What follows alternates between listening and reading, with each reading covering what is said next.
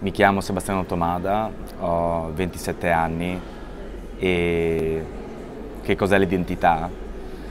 L'identità è qualcosa di profondamente personale, penso. Eh, non penso che uno possa letteralmente definire che cosa sia identità.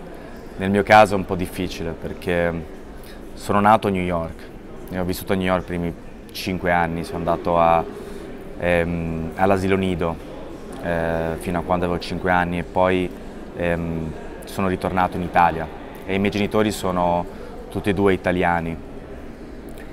E da quando ho incominciato ad andare alle elementari ho sempre avuto la, la domanda, ma eh, cosa sei? Sei americano?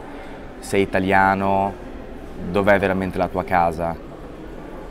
Io rispondevo ho due passaporti, ho una cittadinanza americana e una cittadinanza italiana però allo stesso tempo pensavo dentro di me identità, cosa sono veramente? Italiano, americano, importa?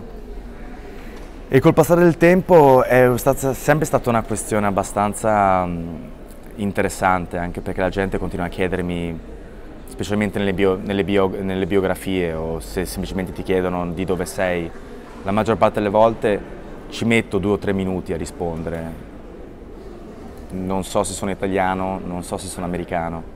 Um, questa è la prima cosa che mi viene in mente per quanto riguarda l'identità.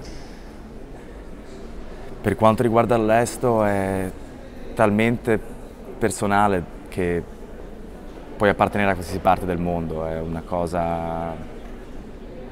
sì, non lo so.